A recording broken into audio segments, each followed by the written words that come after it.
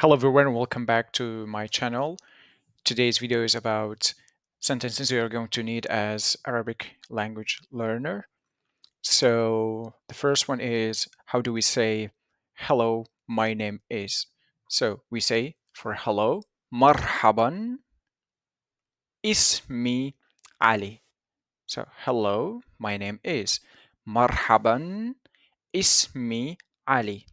So ismi as if we are saying is followed by me. So we say ismi and you pronounce it ismi.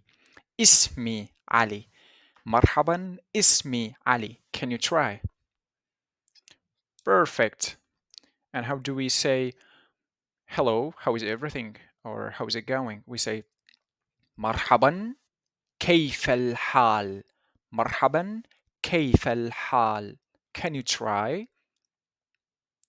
Perfect. We say مرحبا كيف كيف الحال And how do we say goodbye? We say مع مع السلامة مع السلامة Can you try? Perfect. مع السلامة And how do we say the nationality? For example, I am Iraqi, Australian, or German. We say أني عراقي Ani Iraqi or Ani Australi, Ani Australi or Ani Almani, Ani Almani. So can you repeat Iraqi, Australi, Almani, and then you say Ani Iraqi, Ani Australi, Ani Almani. Your turn.